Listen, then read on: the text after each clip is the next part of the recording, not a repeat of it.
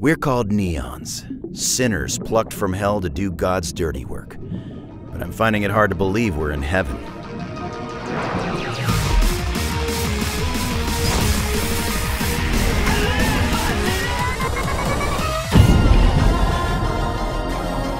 Old friends, ex-lovers. Only one of us can stay in heaven, and I've got a score to settle.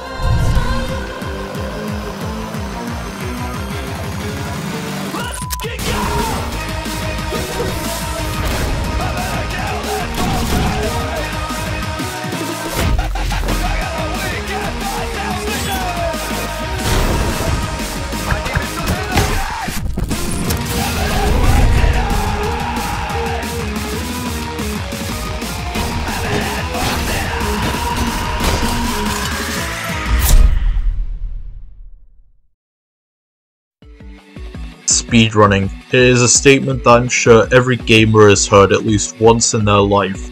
The idea of beating a game as quickly as possible. Some games are speedrun by people for fun, and some games even have achievements that require you to beat the game in a certain amount of time. So, what if that concept was turned into an actual game, where the player is rewarded for speedrunning it? Well, that's the very core of Neon White. Created by Ben Esposito, who you may know as the creator of Donut County and Tattletail, developed by Angel Matrix, and published by Annapurna Interactive, Neon White is an FPS game where, to quote Ben, you can sacrifice cards for godlike parkour moves, more on that later. The game's story is nothing too special. In it, you play as title protagonist Neon White, or just White, a dead assassin who, like other Neons, is plucked from hell and brought to heaven in order to deal with a demon infestation as part of an annual contest where the winner gets to stay in heaven until it's time to do the whole thing again the following year. It's a simple premise, but it's the mystery that surrounds the story that makes it interesting to me, like the fact that White wakes up in heaven with the classic case of amnesia, and stuff like, why can't God just take care of the problem himself? The story is also filled with the kind of dialogue that you'll either love or cringe at because anime and this was written for a game that released in June of 2022. The gameplay is easily the most important aspect of Neon White. The goal is simple, kill every demon and reach the end. And along the path lies soul cards that let you use a specific firearm or discard it for a unique platforming ability. Pistols grant a double jump, SMGs grant a ground stomp, assault rifles grant a sticky grenade that you can bounce off of, shotguns grant a dash in the direction you're looking at, sniper rifles grant a dash forward, and rocket launchers let you use a grappling hook. There is also another soul card, but I'm not mentioning it since it appears during the endgame, so play the game for yourself to see it in action. It's a simple concept that makes Neon White enjoyable in the first place, as you keep replaying a stage trying to get the fastest time possible and get the ace medal in each stage, as well as get your Neon rank high enough to progress through the story.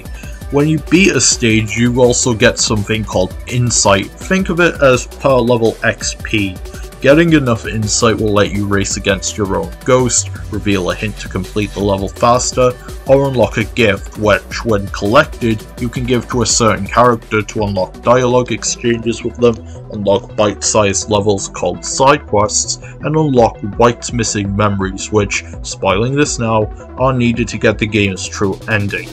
Everything else, I'll let you figure out for yourself.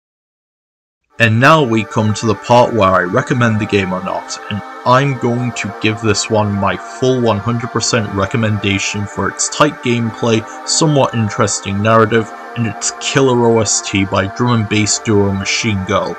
There are other things I want to talk about, but most of them delve deep into spoiler territory, so again, play the game for yourself.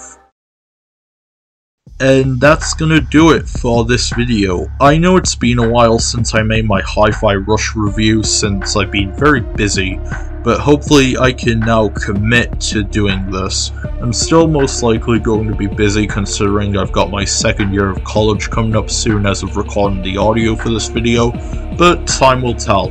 But with that, I'm Cruel Alchemist and this has been my review of Neon White. See you in the next video.